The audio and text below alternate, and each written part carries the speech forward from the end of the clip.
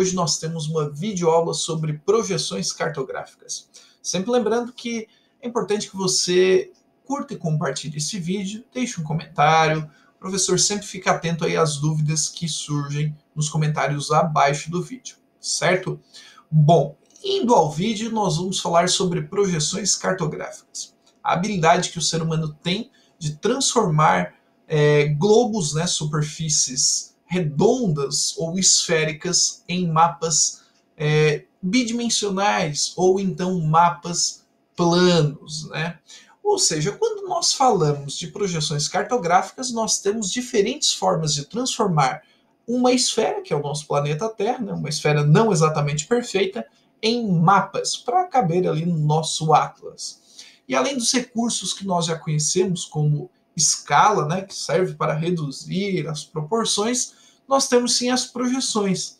E existem três projeções, três, que são as mais conhecidas e mais utilizadas, como a projeção cilíndrica, a projeção cônica e a projeção plana polar, que também pode ser chamada de azimutal, né, ou então zenital. Bom, vamos começar falando um pouquinho sobre a projeção cilíndrica.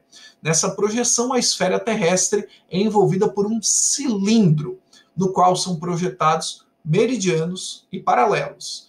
Essa, esse tipo de projeção, que é o mais utilizado, né, normalmente tem algumas características bem diferentes das outras. Por quê?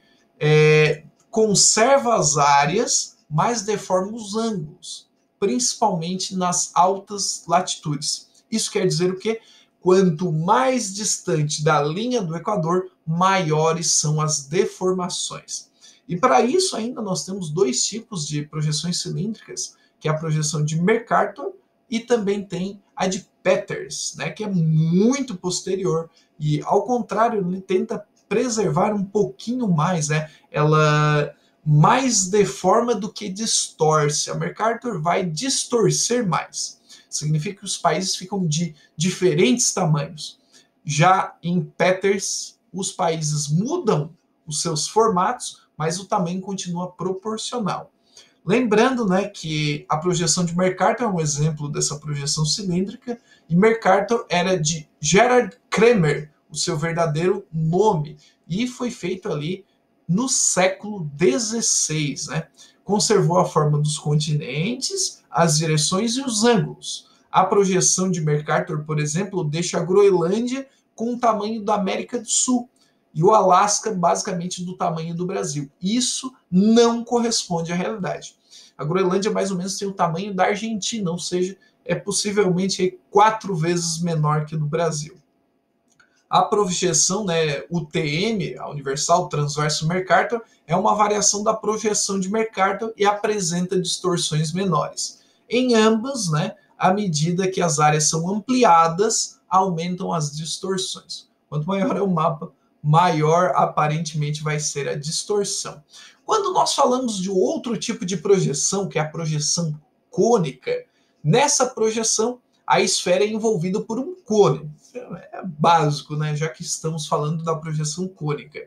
Destacam-se as formas de pequenas feições, daí a sua utilização para representação de localidades junto a latitudes médias. Quanto mais aumenta a latitude, maior a distorção. Novamente, nós temos a abertura cônica e sempre lembrando que o que está mais abaixo, inclusive, né, são as latitudes mais altas nesse caso, vai apresentar maiores níveis de distorção.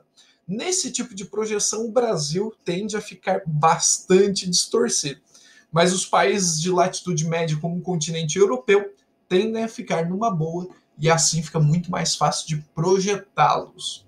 Quando nós falamos da projeção plana, é denominada azimutal ou zenital e resulta da projeção da superfície esférica sobre uma superfície plana. Quanto mais nos afastamos do ponto que o plano tangencia a esfera terrestre, mais a distorção aumenta. Ou seja, essa vai projetar como se fosse um globo, mas não exatamente da mesma proporção, porque é bidimensional, a superfície plana. Quanto mais se afasta do centro do globo, maior o nível de distorção. Mais uma vez, analisando né, uma projeção polar partindo ali da Antártida, o Brasil se tornaria ali um grande refém dessas distorções, ficaria muito distorcido. E já que falamos sobre essas projeções, deixe seu questionamento, é um assunto sempre muito polêmico, pouco tratado e também tem aí uma questão bem interessante. Nós falamos que o mapa mundi é sempre aquele Mercator, né? A projeção cilíndrica, mas não se esqueça, para outras partes do globo é muito comum ver o mapa mundi esférico e também um mapa mundi, né, ou boa parte dele representado em uma projeção cônica. Né? Sempre devemos lembrar que, de acordo com o uso e as especificidades, é claro que o país vai optar por representar o mundo ou grande parte dele da forma que é necessário e da forma que vai destacar o seu país. Certo, pessoal? Qualquer dúvida, o professor segue à disposição aqui no canal Lucas Sequinel. Muito obrigado e até a próxima.